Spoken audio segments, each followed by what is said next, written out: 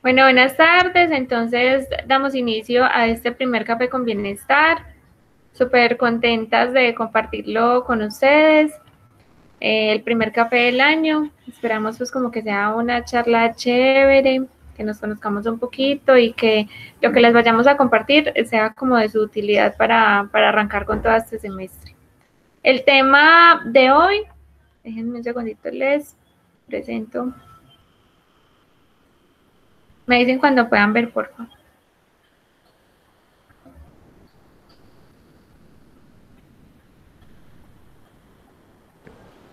Listo, Cata, ya está presentando. Cata, ya vimos. Listo. El tema de hoy es el regreso a clases, ¿cierto?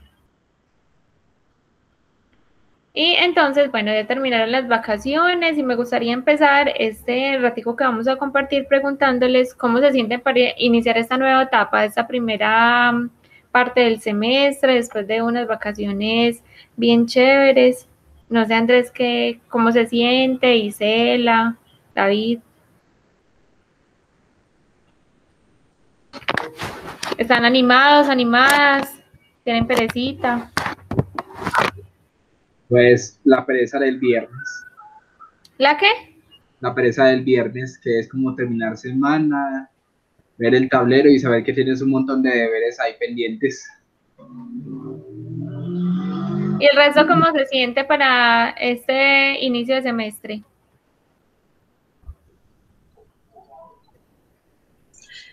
Eh, hola. Hola.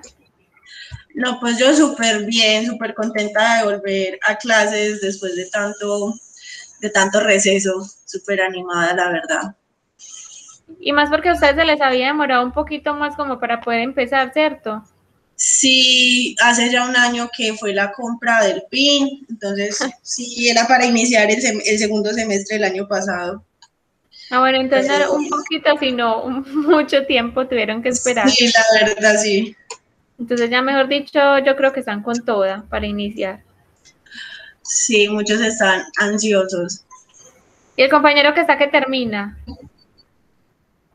Bien, en este momento estoy realizando eh, trabajo de grado y con muchas expectativas sobre el proyecto, pero también me genera como, no sé, a veces inquietud y miedo de saber qué es lo que va a pasar luego, ¿no?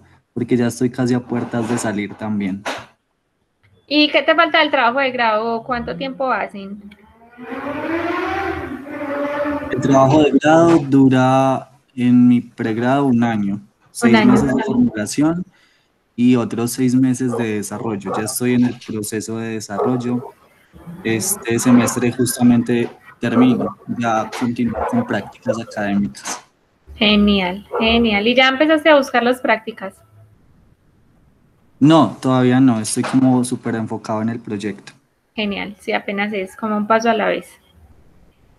Bueno, sabemos que regresar a clase pues no es fácil, lo de retomar pues como una eh, actividad académica, incluso laboral no es fácil. Cuando uno sale de vacaciones del trabajo, los que han trabajado y ya uno le toca volver es un poquito difícil. Entonces, por acá ya les tengo algunos consejos para que de pronto ese retorno a clases sea un poquito más fácil. El primer consejo es recuperar la rutina. Entonces, ¿a qué se refiere esta recuperar la rutina? Ustedes saben que cuando estamos estudiando, eh, pues ya sabemos que tenemos unas clases a cierta hora, eh, que cierto tiempo se lo dedicamos a de pronto a estudiar, a leer, a investigar. Eh, empezamos a tomar como ciertos hábitos de acostarnos de pronto un poquito más temprano o de levantarnos a cierta hora. Y cuando salimos a vacaciones, pues ya nos relajamos un poquito más y ya nos pegamos las trasnochaditas por ahí viendo televisión o los que les gusta salir pues como, como en sus actividades.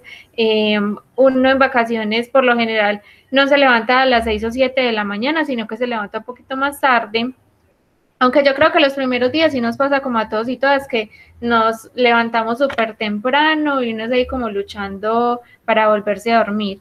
Entonces, lo primero es recuperar la rutina, empezar a levantarse más temprano días antes de volver a clases.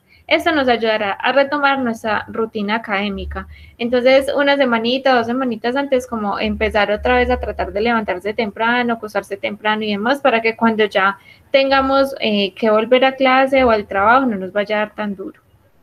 Una buena alimentación es el segundo consejo. Súper importante, si queremos un buen funcionamiento del cuerpo y de la mente, tenemos que garantizar una alimentación balanceada. A veces como por estar a las carreras nos alimentamos mal o, o nos alimentamos a deshoras y eso contribuye a que nos sentamos a que nos sintamos todo el tiempo más cansados, a que de pronto no nos rinda como lo que tenemos que hacer eh, de la manera en que queremos. Entonces, de pronto garantizar desayunar pues como dentro de la hora que es, tempranito, almorzar a mediodía, cenar temprano, que cuando nos vayamos a ir a acostar estemos como relajaditos y, y como con buena energía todavía. Eh, un tercer consejo es prepara todo con tiempo. Cuando de pronto no preparamos las cosas con tiempo, eh, las actividades, de pronto los materiales, em, eso nos genera ansiedad, nos genera estrés. Entonces lo ideal es que preparemos todo con tiempo. Por ejemplo, en el caso del compañero que ya está haciendo el trabajo de grado, yo me imagino que cuando va a ir a hacer la presentación o cuando va a hacer algún entregable al docente, eh, no va a estar como corriendo a última hora, sino que sobre todo con los trabajos de grado pasa mucho y lo digo porque estoy en ese proceso. Es muy bueno cuando uno le va haciendo como de a semanita, como de a poquito y no deja todo para lo último porque va a estar como más tranquilo, va a tener como la mente más despejada. Y yo no sé si les ha pasado a mis compañeras o a quienes estén conectados, que, que no todo el tiempo uno tiene como esa lucidez para, para escribir o para leer. Entonces, como muy bueno cuando uno tiene el tiempo de prepararse, como que lo cojan esos momentos de, de, ¿cómo se dice? Sí, como de, de lucidez para poder escribir y que todo como que rinda, como que todo vaya fluyendo. No sé qué dicen de estas primeras tres recomendaciones, cómo les va con el tiempo, con el tema de la, de la dormida, cómo les va con el tema de la alimentación, con el tema de preparar todo. Bueno, como yo estoy en ese momento, pues, se podría decir viviendo solo, Ajá. eh, tengo que que bueno, razonar, racionar la comida y no comer a lo, a la, a la ansioso como lo hacía antes.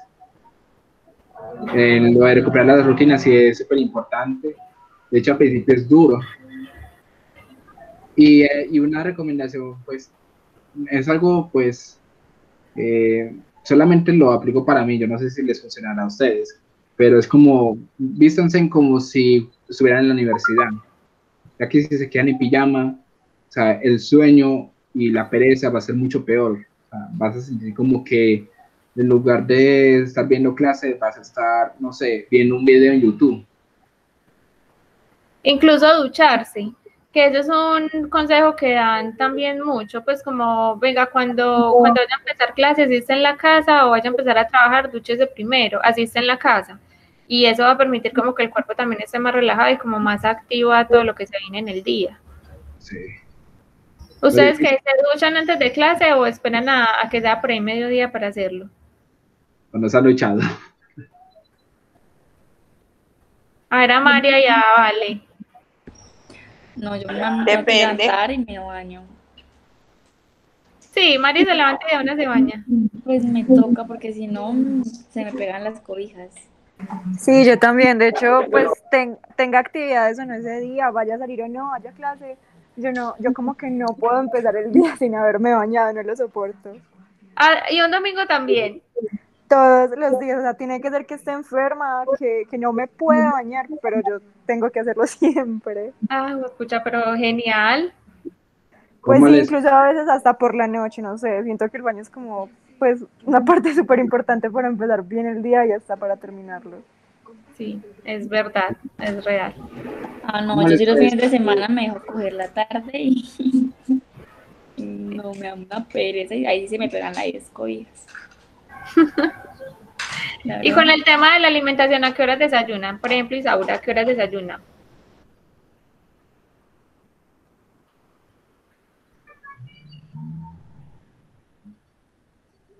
No estoy Eh. viendo, no sé si se me desconecta o qué. Pues, a ver. ¿Cómo les parece que se me dañó el agua caliente? Desde hace Ah. mucho. Pero mejor, mejor, porque así ya se despierta más con agua fría. Más despierto, sí. Bueno, voy a seguir entonces con los consejos. El cuarto consejo es plantearse metas. establecer una meta y definir una recompensa.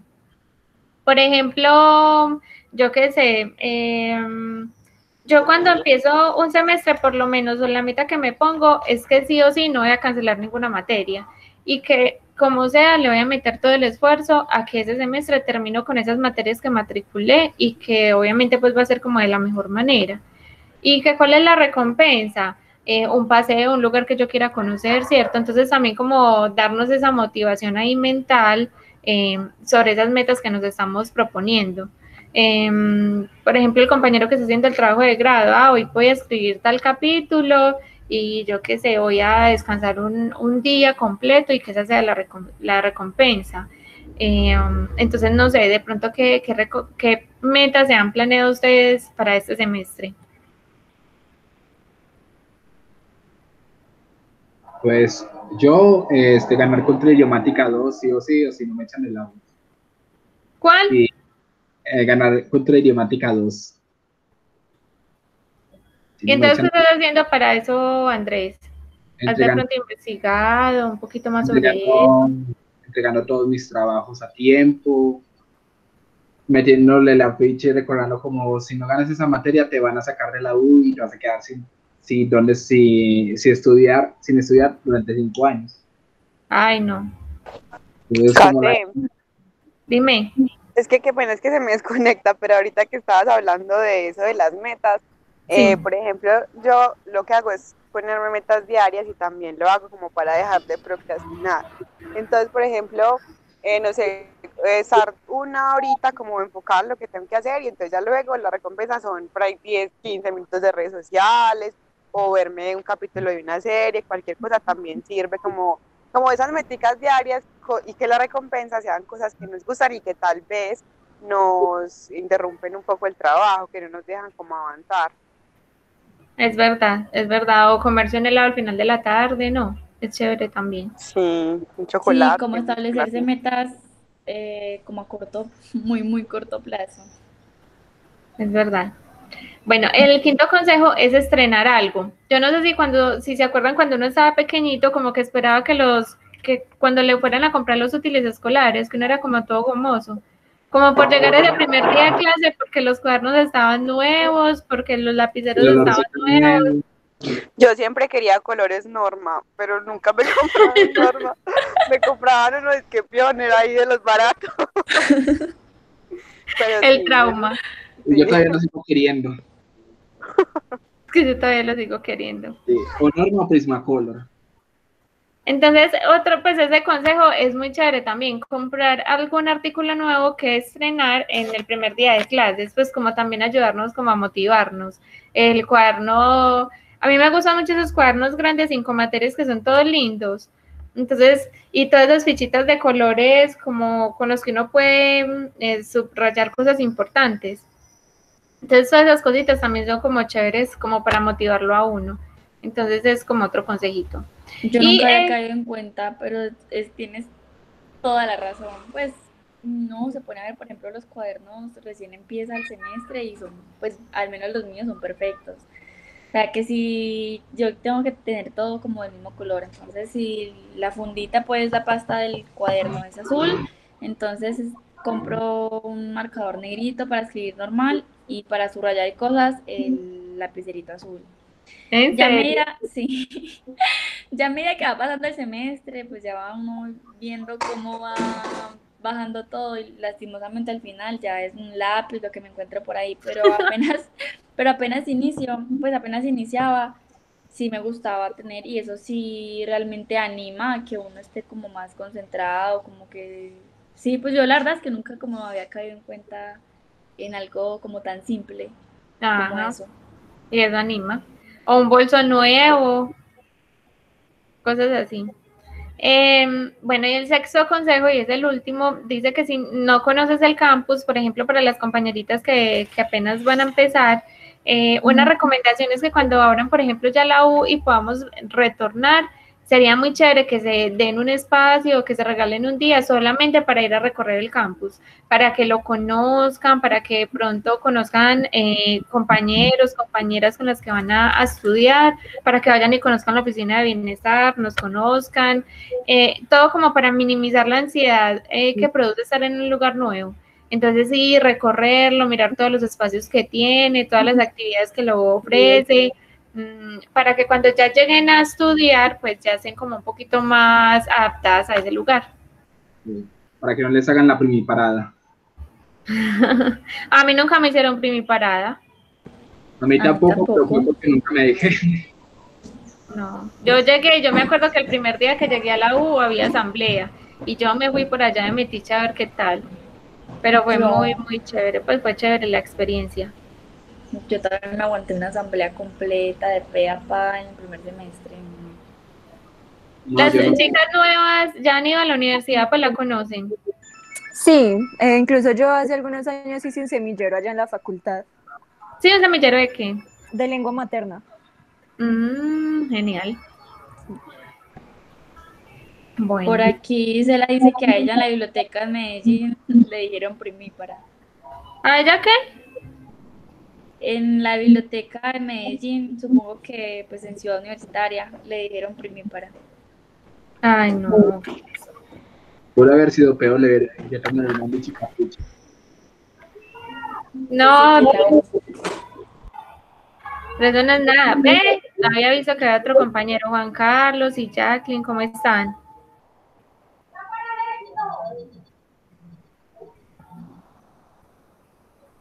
¿Me escuchas? ¿Me oyes? ¿Me ven? Yo sí te veo y te escucho. ¿Alguna señal? Ah, es un profe, hola profe, ¿cómo está? ¿De qué pregrado?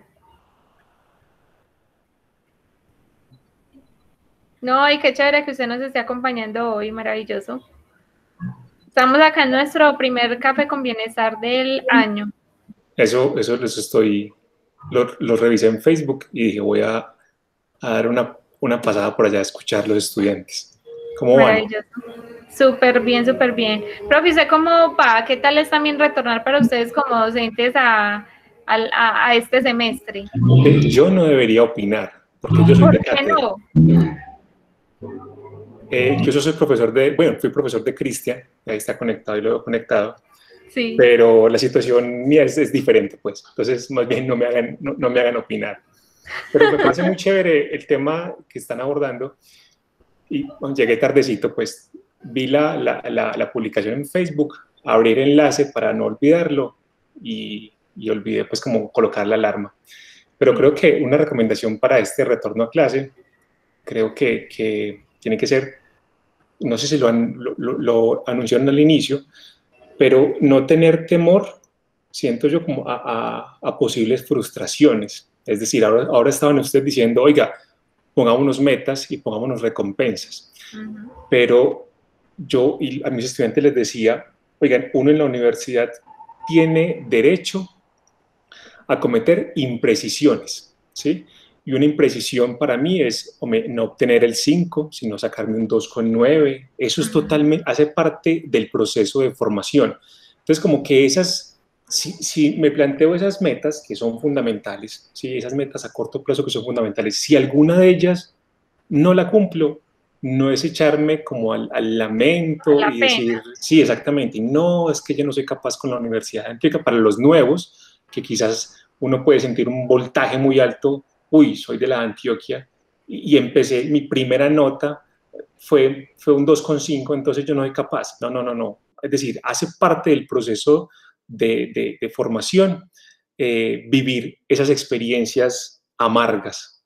Cristian, por ejemplo, que, que, que, es de Sonsón, en Sonsón nos tocaban algunas experiencias amargas a veces, una experiencia amarga, aunque no era tan amarga, era que yo alguna vez llegué tarde porque eh, estaban en la sede de Sonsón, estaban bajando todo el ganado a la feria de ganado que queda al lado de la, de la sede y pues yo ahí eh, eh, en, medio como el trancón en el carro porque no podía llegar. Pero yo digo, esto hace parte del ejercicio de, dar clases en las regiones, ¿sí? Entonces eso es identificar que de pronto esas situaciones eh, adversas en la universidad hacen parte del mismo ecosistema universal. Y es que eso es la universidad, es, un universo. Y el universo, al menos el universo humano, no es perfecto. ¿sí? Aquí tenemos que aprender a, a gozarnos lo bueno y lo malo. No te escucho, Catherine, porque tenés el micrófono silenciado. Ay, sí. Un año después y todavía hablamos con el, con el mute. Que con eso que ustedes estaban mencionando, a veces, pues como por el estatus que tiene la universidad afuera, eh, muchas personas entran con ese temor, como fue madre, yo sí voy a ser capaz con la Universidad de Antioquia. Y es muy fácil que se sientan eh, frustrados, como usted dice, cuando de pronto no, no alcanzan la, la nota que, que quieren. Y conozco mucha gente que a la primera como que desertó, como que no, es que la universidad definitivamente la de Antioquia no soy capaz con eso. Entonces es verdad y es muy buena recomendación la que usted le da a los, a los chicos y chicas nuevas como de, darse esa oportunidad porque es finalmente un proceso de aprendizaje. Sí, súper. Ahí Cristian está diciendo que la primera nota de él fue un 2, uno con 2 con el profesor más cuchilla de toda la carrera, estoy convencido que Cristian subió promedio con mi materia, porque sacó muy buena nota. ah, no, a mí me pasó algo muy parecido también. Apenas llegué, yo soy de periodismo, y apenas llegué teníamos que hacer unas citas textuales, ya no me acuerdo. Y mm, no me quedaron pues como el profesor esperaba que tenían que quedar, y eso era un una hoja llena de rojo, llena de X, tachones, eso ni nota me puso, yo me quería la verdad poner a llorar ahí en ese instante frente al profesor. Pero sí es verdad, todo es como parte de, ese aprendizaje y tenemos que aprender a, a no caer como en esa frustración. Y buscar también la manera como de ayudarnos o, o, como los recursos con los que cuenta la universidad también para eso.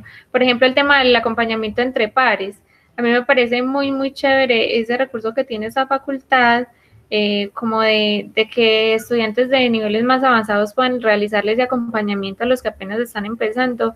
Me parece que es súper ganador y que hace que de pronto los estudiantes no, no se sientan tan solos.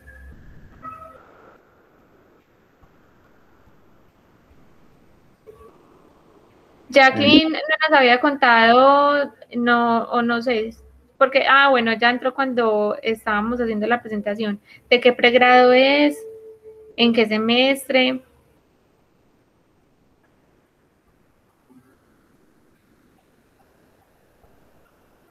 Ah, bueno, yo ya nos había dicho que era eh, nueva.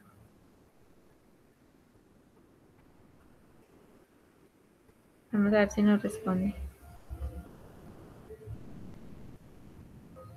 Bueno, y no sé si de pronto Vale, si de pronto María tiene algún otro consejo para este inicio a clases, para los chicos, para las chicas. Yo, eh, yo siento que aprovechar los espacios que brinda la universidad. Todas las semanas hay eh, conversatorios, hay charlas, hay conferencias y no sé, asistir a, a como a estos espacios es como salirse también de, de mm, las dinámicas de la clase que a veces puedan ser agotadoras y agobiantes. Es, real. el café. eh, Kate, no sé si ya lo habías mencionado, que, pero también es como tener en cuenta que es respetar nuestro proceso, como que cada uno va a su ritmo, porque uno sacó más, mejor nota, o porque otro cogió todas las materias que estaban ofertando, no significa que nosotros seamos mal, sino que cada uno va como a su ritmo y es respetar eso, respetar nuestro proceso. Sí, es real. Y con eso que estaba diciendo Cristian, me parece súper chévere porque no todo lo que tenga que ver con la universidad es eh, netamente académico, ¿cierto? Y hay muchos espacios, por ejemplo, como, como, estos, en los que uno también puede aprender mucho, donde puede salirse como un ratico, como esa rutina, como dice él, y hay espacios, y, y que lo diga Andrés, pues el café se ha prestado para enseñarles eh, sobre yoga, para enseñarles sobre, sobre arte, para enseñarles sobre nutrición, eso, recetas en vivo, o sea, les hemos mostrado ahí cómo cocinar, o sea, espacios de todo. Hemos hecho actividades en línea, eh, parchís o stop, y eso también es muy bueno, pues como darse esa oportunidad, y más en este tiempo de, de pandemia, como de, de recrearse un poquito. Entonces también es importante como que busquen esos espacios.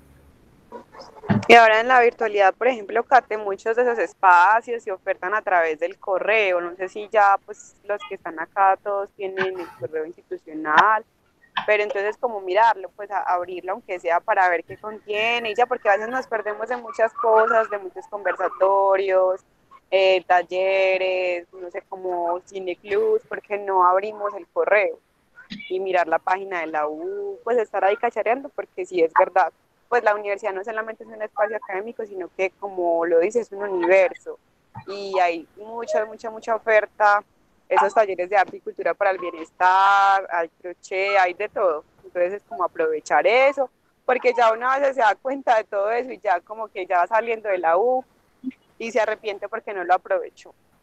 Entonces la invitación es esa, como a mirar el correo, mirar la página de la U, a ver qué, qué hay por ahí que les guste a ustedes y que puedan hacer.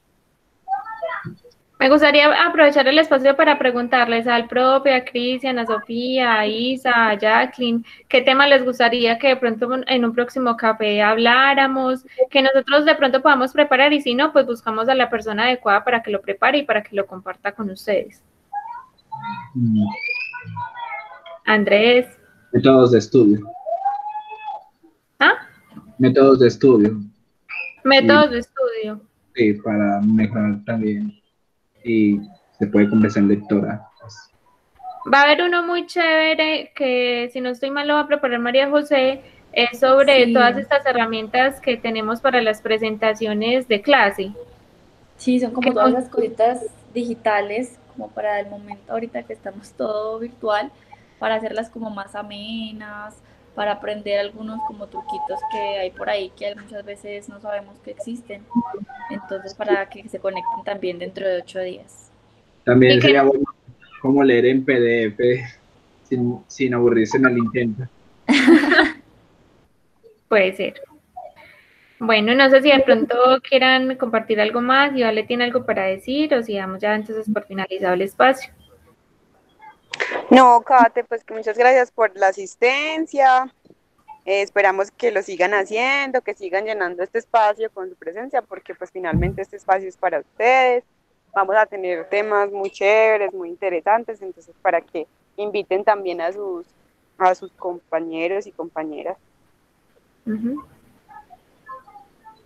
A todos muchas gracias al profe, a María Sofía, a Cristian y a Isa. Muchísimas gracias. Sigan, que nos sigan en Facebook para que se den cuenta de, las actividades. Les voy a compartir por el chat de enlace. Sígueme en Facebook, en Instagram y no se olvide de suscribirse. no te olvides de darle like. Está bien. Que pasen una excelente tarde. Muchísimas gracias por haber estado en el espacio. Cate, muchas gracias. Chao. Chao.